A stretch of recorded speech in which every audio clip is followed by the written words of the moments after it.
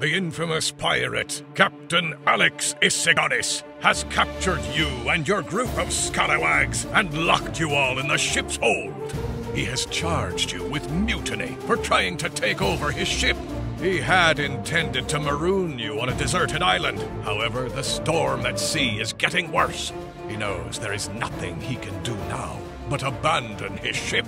The crew has left, and there is no one aboard to help you. You have just 60 minutes before the ship plunges into the eye of the storm.